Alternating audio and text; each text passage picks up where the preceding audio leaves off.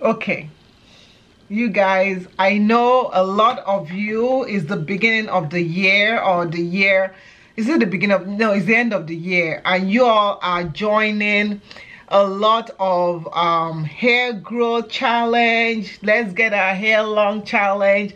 And today i'm just going to share why i don't do all those stuff. So i personally i don't do hair growth challenge. I don't do um let's grow our hair in five weeks challenge in three weeks all those challenges. I don't do it personally and i explain the reason why i don't do it. And you guys can chime. I really want to know why do you guys do it? I really want to understand. Um i know it's like you know in the community let's do it let's get our hair long let's follow these set rules.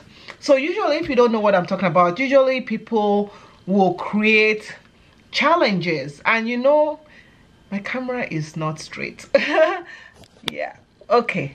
I think that's better. So people will create challenges and there's nothing wrong in challenges in things to challenge yourself. Um, but what I see sometimes that people create challenges and in challenges they might say, oh, don't, um, we're not going to comb our hair for three weeks we're not going to wash our hair for three months four months five months.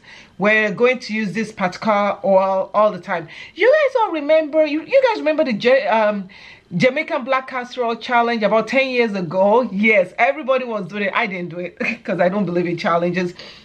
Um and so everybody was doing it. Everybody was using jamaican black castor jamaican black castor and people saw results and stuff. That one for me if you're using a particular product and stuff that's okay.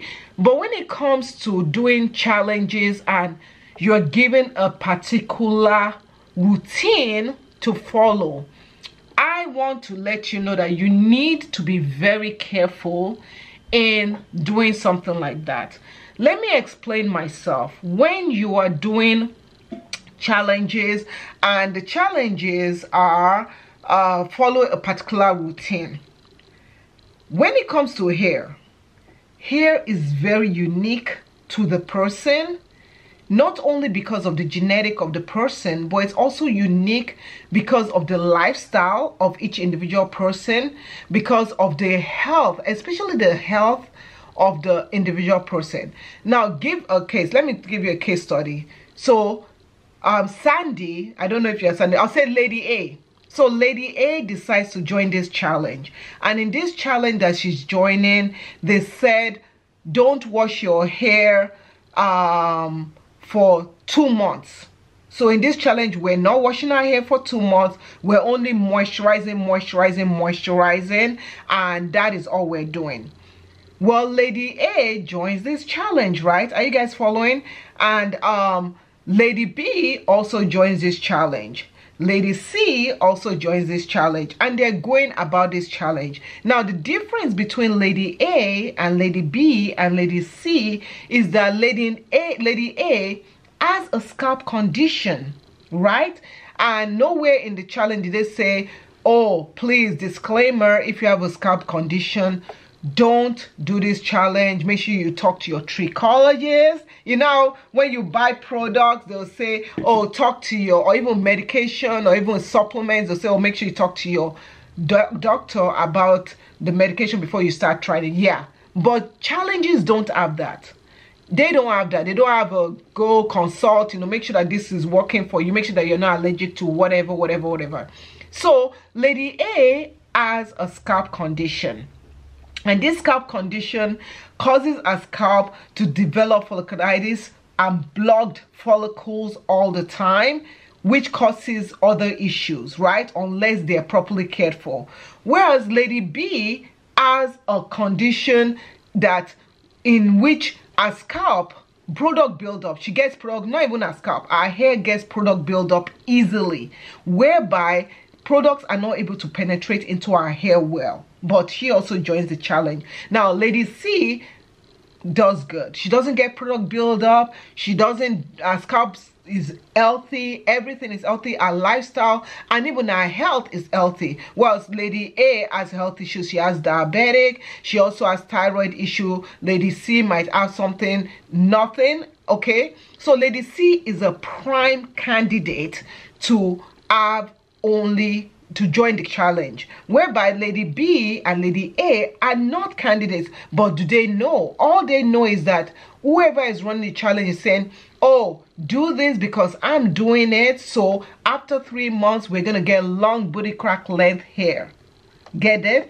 So you have to be very careful. If you're going to join a challenge i'm not knocking challenges. I'm just saying if you are going to join a challenge you yourself okay? You yourself have to know yourself. You have to know your hair. You have to know what your hair can do. You have to know your scalp. You have to know your health. You have to know a lot of things. Not only let me join this challenge because everybody's doing it and I don't want to be left out. Now, that is one aspect of joining challenge. Understanding your limitation, understanding your hair health, understanding your scalp health, understanding that you joining a challenge is not, might not be the right thing for you in 2024 or anytime. You just create a routine that works for you and not everybody's hair not every scalp is created equally. So if some of you don't know i am a hair coach. I'm a certified hair coach. So i have several clients from all over the world from kenya from um, nigeria from canada from us from the south of you know southern part of america from you know from uk i can name go on and on india. So i have several clients. So the way i treat them is individual. Whenever i start working with one client i open a fresh plate. I don't use the routine from client a to this new client. So i when you contact me i work with you individually and i go if you contact me and you're like okay i'm good i can and that's it. But if you contact me and say okay next month let's meet again let's see your progress and i meet have recurring clients like that. So that is why it's important to have someone like me to help you out if you decide that your routine or your hair is not doing what it's supposed to do. So let's move on to the next aspect. Why i do not like challenges. Um challenges as a way of you know that thing where you say, oh, somebody's growing, we're doing a hair growth challenge. So you're expecting to get mid back level, okay? So when it's time to report, how did you do? You feel defeated if your hair is not that long. And most of the time, when you are doing challenges and when people are doing challenges they're doing the, it so that to reach that goal it's like oh i gotta reach that goal. I don't care if i'm doing other stuff but i must reach that goal so that at the end of the challenge i can post my picture of how long my hair is right? So in so doing that you might be doing unhealthy stuff. Like for example let's say your hair is split and you do need to trim okay? I'm a believer in trim only when needed. Let's say you really really really badly want to trim but the challenge is afoot what are you gonna do? You probably won't trim. Let's be honest with ourselves. You probably will not trim your hair because you want to show that length. You want to show that oh my hair is this long. Oh and i'm winning the challenge. I don't know. Do you win challenges? Do people win stuff? I don't know but I just want you to know that. Now, that is the second reason, okay? We talked about the first reason being that, you know, people, your hair is unique to you, okay? And you might suffer the health of your scalp. The second reason being that, you know, that feeling that you hold on to unhealthy hair, unhealthy situations in your hair just to prove a point. Now, the third reason, three reasons why I do not like hair challenge, natural hair challenge. The third reason, and this reason, it just like, I don't know, I just don't like the aspect whereby we do all these challenges, but do we follow up? Get it? You might say, oh, I don't understand. Yeah, so you do these challenges and you're like, oh, rah, my hair grew. What happens after the challenge is done? Do we keep up with that? The accountability factor. Keeping up with all this challenge keeping up with did i do the right thing and all that stuff do we keep up with or do we do all this challenge just to like have bragging rights? I don't know. I always just feel as if when you do these challenges sometimes you just do these challenges for bragging rights and stuff. I could be wrong.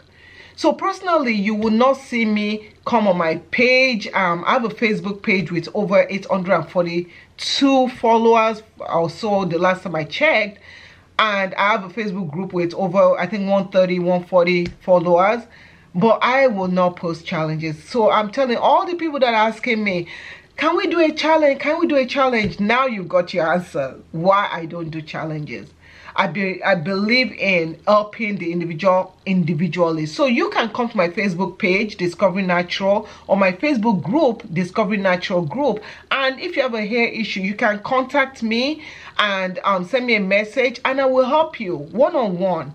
Because what I tell you, you know, I want to know more. Why is your hair doing this? Why are you not retaining length? Did something change? Did you have stress in your life? Did you go through a divorce? Did you have blah blah blah it can go on and on.